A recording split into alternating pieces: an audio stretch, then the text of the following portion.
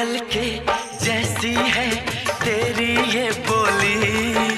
मूरत के जैसी है सूरत ये भोली।